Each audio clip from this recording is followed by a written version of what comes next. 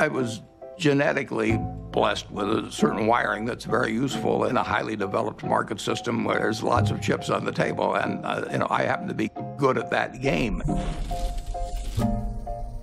Ted Williams wrote a book called The Science of Hitting, and in it he had a uh, picture of himself at bat and the strike zone broken into, I think, 77 squares.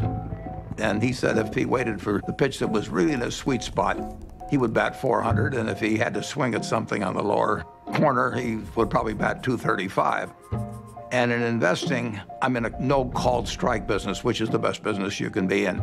I can look at a thousand different companies, and I don't have to be right on every one of them or even 50 of them.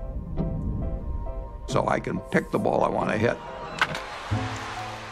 And the trick in investing is just to sit there and watch pitch after pitch go by and wait for the one right in your sweet spot. And if people are yelling, swing you bum, ignore them. There's a temptation for people to act far too frequently in stocks simply because they're so liquid. Over the years, you develop a lot of filters. And I do know what I call my circle of competence. So I, I, I stay within that circle, and I don't worry about things that are outside that circle. Defining what your game is, where you're going to have an edge, is enormously important.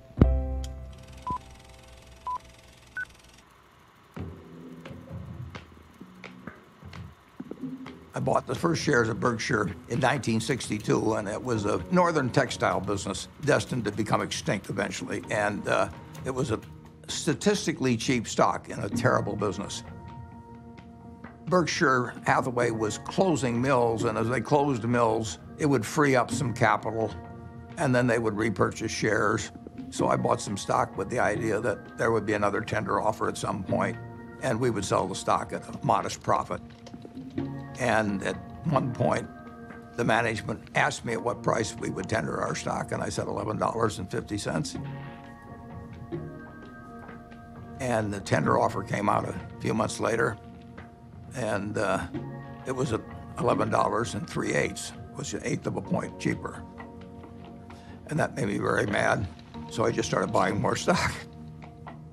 I just felt that I'd been double-crossed by the management, and in May of 1965, I bought enough so we controlled the company, and we changed the management.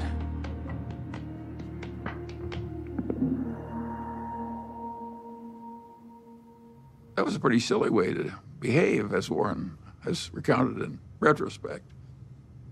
One of the reasons Warren's successful is he's brutal in appraising his own past. He wants to identify misthinkings and avoid them in the future.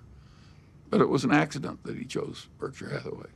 If the chairman hadn't tried to cheat him out of an eighth, there wouldn't have been any Buffett dash Berkshire Hathaway history. If you're emotional about investment, you're not going to do well. You may have all these feelings about the stock. The stock has no feelings about you. Looking back, it's interesting, that tender offer, I didn't realize it, but it, it happened about five days after my dad had died. And I, whether that had affected me or not, I don't know.